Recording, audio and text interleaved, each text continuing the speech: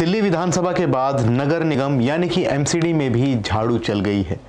BJP को साफ़ कर बहुमत के साथ आम आदमी पार्टी का राज आ गया है। दिल्ली की बड़ी के साथ छोटी सरकार भी केजरीवाल के हाथ में आ गई है। अब तक के रुझानों और नतीजों में 250 वार्ड वाले दिल्ली एमसीडी में आम आदमी पार्टी बीजेपी से निर्णायक बढ़त बना चुकी है। एमसीडी पर बीजेपी का 15 वर्षों का कब्जा था, लेकिन इस बार आपकी आंधी वो साफ़ हो गई है। कांग्रेस का तो ऐसा बुरा हाल दिख रहा है कि उसका वोट शेयर ढाई के अंक से नीचे झूलता दिख रहा है। नमस्कार, मैं हूँ शुभम गुप्ता और आप देख रहे हैं जनहित टाइम। दिल्ली के लिए चुनाव बहुत बड़ा झटका है। वार्ड वार चुनाव नतीजों को गौर से देखें तो बीजेपी के लिए बहुत परेशान करने वाले संकेत हैं।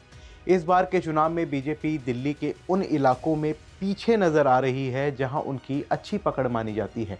सिख वोटरों का रुझान अब तक बीजेपी के पक्ष में एमसीडी चुनावों में रहा है, लेकिन इस बार वैसा दिखाई नहीं पड़ रहा है।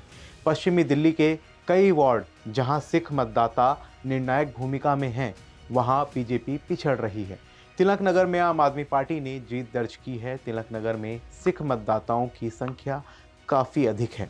और यहाँ वो निर्णायक भूमिका में है। तिलक नगर के वार्ड नंबर 101 से आम आदमी पार्टी के अशोक कुमार मनु ने जीत हासिल की है। उन्होंने बीजेपी के उम्मीदवार राजकुमार ग्रोवर को 2000 से अधिक वोटों से हराया है।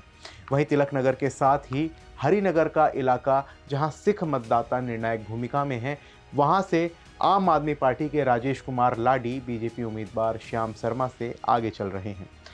पश्चिमी दिल्ली के सिख बहुल इलाकों में आम आदमी पार्टी जिस तरीके से आगे बढ़ रही है, वो बीजेपी के लिए एक चिंता की बात है। तिलक नगर और हरिनगर के अलावा जनकपुरी, विकासपुरी, इन इलाकों में भी कई वार्ड में आम आदमी पार्टी अपनी बढ़त बनाए हुए है।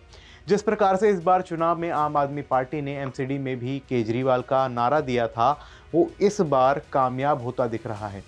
अब तक के जो नतीजे सामने आए हैं, उनमें आम आदमी पार्टी आगे चल रही है। जगह जगह पर आम आदमी पार्टी के कार्यकर्ता जश्न मना रहे हैं। वहीं सीटें कम होने के बाद भी बीजेपी नेताओं की ओर से ये कहा जा रहा है कि मेयर तो उनका ही बनेगा। अब किसका मेयर बनेगा, ये तो खैर देखने वाली बात होगी, लेकिन जो भी नतीजे सामने आ रहे हैं, वो भाजपा के लिए परेशानी की बात ज़रूर है। आपका क्या कहना है इन रुझानों पर, हमें कमेंट सेक्शन में ज़रूर बताएँ। मिलते हैं अगली वीडियो में, तब तक के लिए जय हिंद।